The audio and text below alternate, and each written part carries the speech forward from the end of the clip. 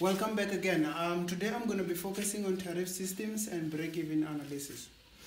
Um, I'm pretty sure you have heard about these terms, uh, these two terms uh, in your grade 11, the tariff systems and the break-even analysis.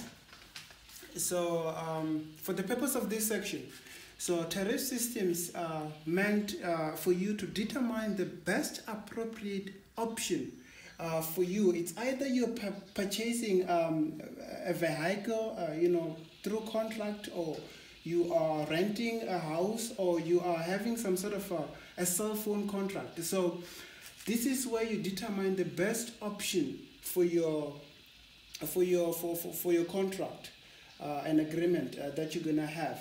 So um, you'll be um, supplied with various contract of which if you take a look at this uh, table right here, uh, the description of this table is uh, based on the photocopy rental. So uh, it's based on photocopy rental. And uh, you can see down here that there are various contract, contract number one, number two, and number three. And then allow me to first um, dissect and explain this table uh, for you so that you can best understand it. So um, in contract number one, you can see that uh, the monthly rental fee is 600 and then the additional fee, that ad is standing for additional fee. The additional fee is 30 cent per page, right? And then um, the free page is there, it's none for contract number one, it's none, right? And then let us go on to contract number two. When you look at contract number two, you can see that the monthly rental fee is 850 and then the additional fee is 20 cent. And then lastly free pages that you're given are 400 pages right? And then the last contract which is contract number three the monthly rental fee is 1150 and then the additional fee thereof is 10 cents per page. And then the free page that you're given are 800 pages right so if you take a look closely um, at this table, you would see that the monthly rental fee is considered to be a fixed amount. So regardless of the number of pages you have, you have to pay this amount. So, but this amount is going to change depending of course on the pages that you get, right? So if you take a look here on the second column, I mean on the third column, you'd see that the additional the additional fee for contract number one is 30 cents. So that is basically 30 cents per page. And then the free pages that you're given, no. So you don't, you don't get any free page right there. Okay? So um, now the question that can come, uh, but before I dive into that, I want you to understand various variables that, um, that uh, are often um, spoken about um, in this section. So you will remember that um, in, a, in a case like this, where you have to determine the break-even analysis, so it's often done in a, in a graphic depiction. So basically, you will have to understand various um, variables that are there. And on this case, if you take a look at this rental, uh, we can see that we have the cost and also we have number of pages. And number of pages we have to understand that um, number of pages number of pages is a variable and also the cost right?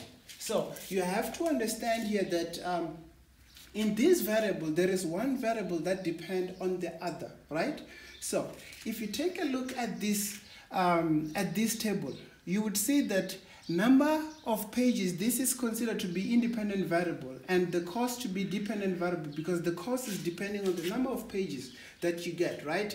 So the question therefore that can come would be to uh, calculate the total cost for contract number one, number two, of course, depending on the page. But now what I want to teach you today is to be able to determine the formula uh, in order to calculate this total cost, right?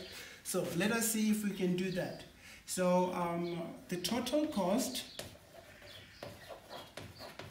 the total cost for contract number one, right? Let's see. So now we have the fixed amount, right? And then this additional fee is considered to be a tariff, right? A tariff. Because it, it, it also depends on the number of units of pages that you get. Okay? And lastly, this one is considered to be a variable amount. A variable amount. Because this is the amount that is going to vary uh, due to pages. Because uh, you're not going to um, receive, it's, it's very uh, less likely that you will receive a fixed number of pages, right? So now let's take a look at the contract number one to determine the formula. So the total cost, I'm going to use the expression of TC for total cost is equals to um, the monthly rental fee. This is going to be the monthly rental fee of which is a fixed amount. So remember, we're still in contract number one. So the monthly rental fee is 600 rand. 600 rand, right? Plus, because we are adding other variables. So now we have to look at the tariff, the additional fee that you, you have to, to pay. So for contract number one, you have to pay 30 cent plus 0, 30, right? For 30 cent. And then multiply by multiply by number of pages because that is deemed to be a variable amount. It depends on the number of pages that you get. Your total cost, of course, is going to be um, is going to be dependent on the total number of pages that you're going to have. So let's take a look. So number of pages. Number of pages, I'm just going to write underneath here. Number of pages, right? So let's take a look at this formula together. So the total cost for contract number one is going to be 600 plus 30 cent multiplied by total number of pages. And then here I'm going to put close brackets. Remember what we have spoken about in our first session, BODMAS rule. That is the first rule that you're going to apply, right? So let us now move on to contract number two, okay? Contract number two. So with contract number two, is going to be a little bit different. Why? Because we are given three pages here. Right? You, we are given three pages and uh, three pages that were given are 400. So let's take a look at the formula. So the TC is going to be, excuse my handwriting. So TC is going to be the fixed amount. What is the fixed amount for contract number two? The fixed amount for contract number two is 850. So that is our fixed amount, 850. Plus, it's very important that you put that plus, plus the additional fee, which is a tariff. So in this case, we're looking at 20 cent. So it's going to be plus 0, comma, plus 0, comma, 20 right and then multiply by multiply by number of multiply by number of pages multiply by number of pages.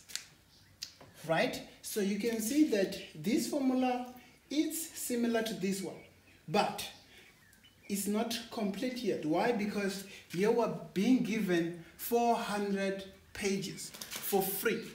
So this is going to be 850 plus 0, comma 20, which is 20 cent, multiplied by number of pages, minus 400 pages, right?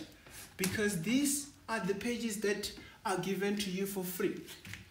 So if you happen to exceed 400 pages, then it means the total cost is going to change.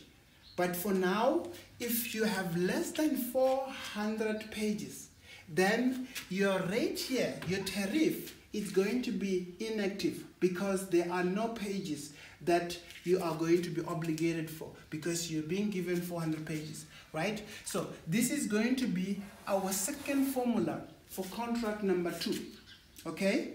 So um, now I'm gonna look at contract number three. Let's take a look at contract number three. Contract number three.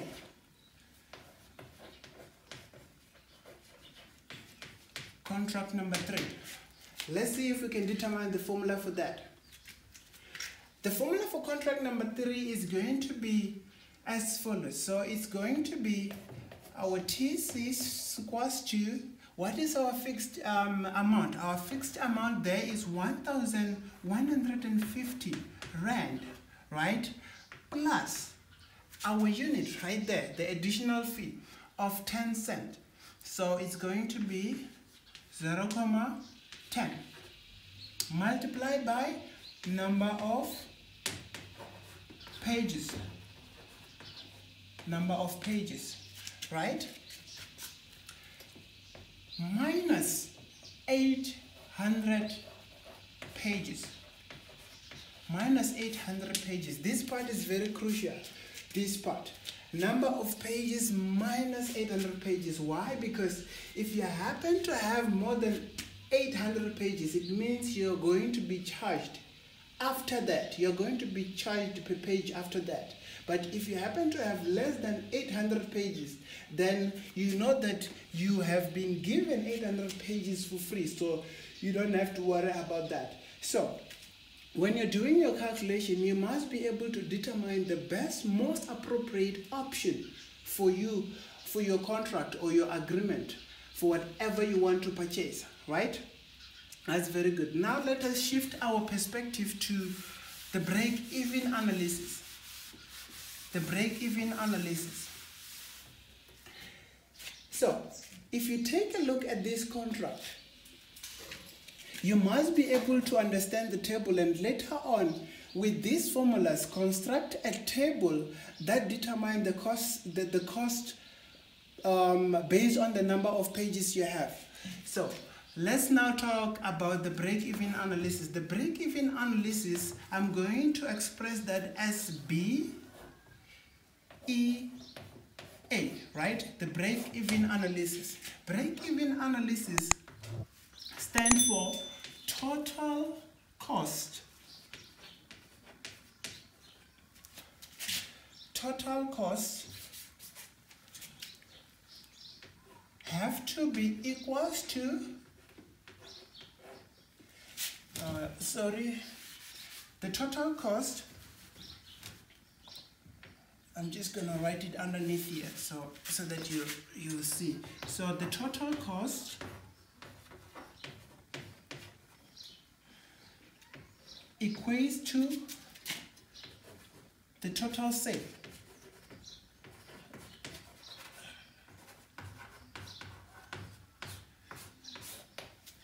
So the total cost in this case, we're looking at all the costs, production cost, operation cost, and other recurring costs, costs that you may have in your in your in your financial statement is going to equate to the total sales, the amount of money that you generate before any deductions or any expenditure, right?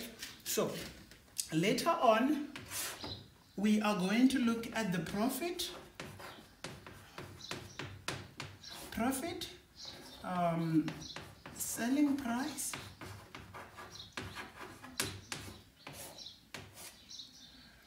um, expenditure,